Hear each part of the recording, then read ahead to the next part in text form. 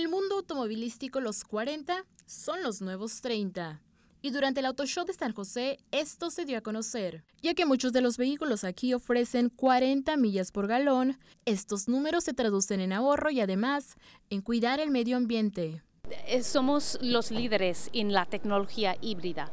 Pero también ahora tenemos un carro eléctrico. Aquí es el RAV4 eléctrico, es 100% eléctrico y ustedes pueden ver cómo es y, también tiene 103 millas por la distancia.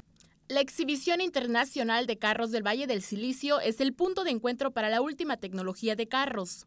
Más de 12 fabricantes compiten por ser el centro de atención, entre ellos los populares Ford, Jeep, Mazda y los elegantes Corvette y Cadillac.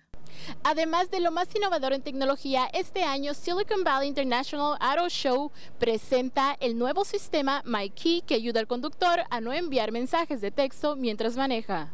Rob, especialista en desarrollo de negocios en San Francisco, nos habla de esta gran novedad única en la industria. MyKey Explica que al comprar el auto, el cliente recibe dos llaves, una la maestra, la otra será la que lleve la configuración más restrictiva. Con esta segunda llave se podrán controlar varias funciones como limitar la velocidad máxima y el volumen del equipo de sonido e impedir la desactivación de los sistemas de seguridad.